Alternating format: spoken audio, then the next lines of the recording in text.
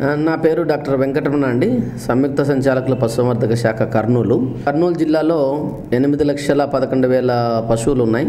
అందులో ముఖ్యంగా ఐదు లక్షల నలభై వేల పాడి పశువులు పాడి ఇచ్చే ఆవులు జిల్లా వ్యాప్తంగా ఉన్నాయి. ఈ ఇవి కాకుండా పదహైదు లక్షల వరకు గొర్రెలు ఆరు లక్షల వరకు మేకలు ఉన్నాయి పదకొండు లక్షల యాభై ఐదు వేల వరకు కోళ్ళు మన కర్నూలు జిల్లాలో ఉన్నాయి.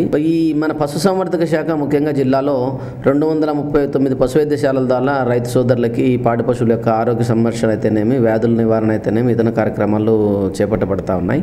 గత సంవత్సరము జిల్లాలో నటన నివారణ కింద ముప్పై రెండు పాయింట్ మూడు లక్షల గొర్రెలకి మనము టీకాల కార్యక్రమాన్ని చేపట్టి నలభై ఎనిమిది లక్షల రూపాయలు మనము గొర్రెల టీకాల కింద వేసినాం. అదే కాకుండా పీపీఆర్ వ్యాధి టీకాలు ఈటీ అంటే చిటుక రోగానికి సంబంధించినటువంటి టీకాల కార్యక్రమాలు కూడా గొర్రెలు చేపట్టినాం. అదేవిధంగా మనము పాడి పశువులు లేకొస్తే ప్రతిరోజు జిల్లా వ్యాప్తంగా వైద్య కార్యక్రమాలు అనేటివి చికిత్సలు చేస్తున్నాం దాని కింద దాదాపు నలభై నాలుగు లక్షల పశువులు ఏవైతే వైద్యం పరంగా అవసరాలు ఉన్నాయో వాటికి అన్నిటి కూడా మనము టీకాలు చేసే కార్యక్రమాన్ని చేపట్టినామండి. ఇది కాకుండా ప్రధానమైనటువంటి విషయాలు ఏంటంటే మా పశుసంవర్ధక శాఖ అందుతూ ఉంటుంది. గత సంవత్సరము పశుక్రాంతి కింద దాదాపు ఏడు వందల ఐదు మంది లబ్ధిదారులకి మనం పాడి పశువులు పంపిణీ చేసే కార్యక్రమాన్ని చేపట్టినాం. అదేవిధంగా జిల్లా వ్యాప్తంగా మూడు వేల మంది పొట్టేళ్ళకు అంటే గొర్రెలు పొట్టేళ్ళ పంపిణీ చేసే కార్యక్రమాన్ని మూడు వేల మంది లబ్ధిదారులకి మనము కార్యక్రమాన్ని చేపట్టినాం. ఇవి కాకుండా కూడా పాడి పశువులకి బీమా చేసే కార్యక్రమం చేపడుతున్నాం దీంట్లో యాభై శాతం సబ్సిడీ ప్రభుత్వం భరిస్తే యాభై శాతం రైతులు భరించాలా.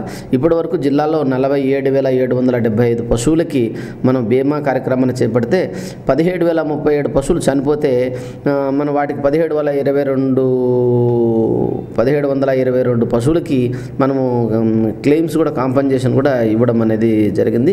దీనికి గాను ఒక కోటి తొంభై ఐదు లక్షల తొంభై వేల రూపాయలు వాళ్ళకి రైతులకి కాంపన్సేషన్ కింద ఇచ్చాము అదేవిధంగా యాభై శాతం సబ్సిడీ కింద గొర్రెల ఇన్సూరెన్స్ కార్యక్రమం కూడా చేపట్టినాం. అది ఇప్పటి వరకు దాదాపు పద్దెనిమిది వేల గొర్రెలకి ఇన్సూరెన్స్ చేసినాం. ఇంకా పెద్ద ఎత్తున చేయాల్సినటువంటి అవసరమైతే ఎంతైనా ఉంది. ఈ శాఖ ద్వారా మరీ ప్రత్యేకంగా ఈ సంవత్సరం చేపడతా ఉండేది ఏంటంటే ఈ జా మహాత్మా గాంధీ జాతీయ గ్రామీణ ఉపాధి హామీ పథకం కింద రెండు వేల ఎనిమిది వందల డెబ్బై తొమ్మిది మంది రైతుల్ని మనము ఐడెంటిఫై చేసినాం. వాళ్ళకి పశుగ్రాసాల సాగు కార్యక్రమాన్ని ఈ జాతీయ గ్రామీణ ఉపాధి హామీ పథకం ద్వారా చేపట్టడం జరుగుతోంది. సో ఈ విధంగా చేసేదాని వలన జిల్లాలో పాల ఉత్పత్తి పెరగడానికి అవకాశం ఎక్కువగా ఉంటుందండి.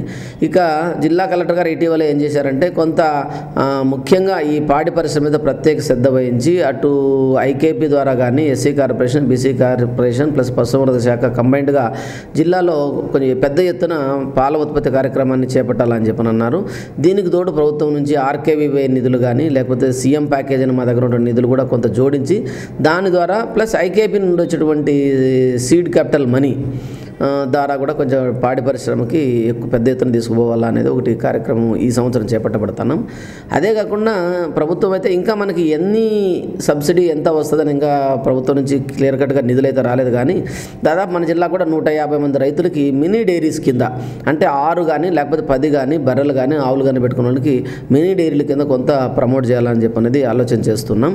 ఇటీవలే కర్నూలు జిల్లాలో ప్రత్యేకంగా